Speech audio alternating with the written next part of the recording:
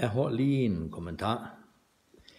Nu er der jo selvfølgelig en vis fare for, at jeg bygger op om den her stereotype, der er om øh, vendelboer, med at man øh, helst vil arbejde sort og ikke vil betale skat eller moms og ja, den slags ting. Øh, den risiko løber jeg nu alligevel, for jeg ved, det er ordentlige folk norden for fjorden.